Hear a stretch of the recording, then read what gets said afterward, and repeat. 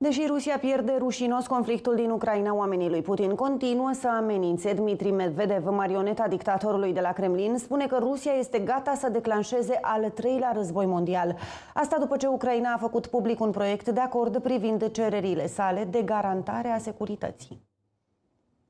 Camarila de la Kiev a dat naștere unui proiect de garanții de securitate care sunt în esență un prolog la un al treilea război mondial. Bineînțeles, nimeni nu va oferi garanții naziștilor ucraineni. Asta a scris Dimitri Medvedev pe canalul său de Telegram. Marioneta lui Putin a avut o reacție furioasă după ce biroul președintelui ucrainean a publicat un proiect de document intitulat Pactul de securitate de la Kiev, garanții internaționale de securitate pentru Ucraina. Documentul a fost prezentat de copreședinții grupului de lucru privind garanțiile internaționale de securitate, șef șeful biroului prezidențial, Andrei Irmac, și fostul secretar general al NATO, Anders Fogh Rasmussen. Potrivit documentului, printre cei care au participat la elaborarea acestuia se numără experți occidentali, inclusiv foști și actuali politicieni și oameni de știință. În pofida propunerilor anterioare, documentul nu prevede nici statutul de neutralitate al Kievului, nici participarea Rusiei ca garant al securității.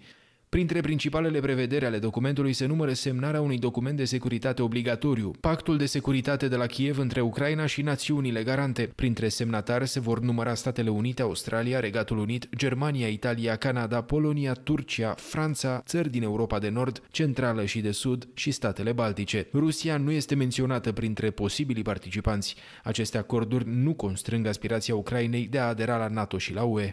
Șeful adjunct al Consiliului de Securitate al Rusiei consideră că acordul propus de Kiev echivalează cu aplicarea articolului 5 din Pactul Nord-Atlantic în Ucraina. Acest articol se referă la apărarea colectivă ca principiu central în tratatul fondator al NATO. Apărarea colectivă înseamnă că un atac asupra unuia dintre membrii alianței e considerat ca un atac asupra tuturor membrilor.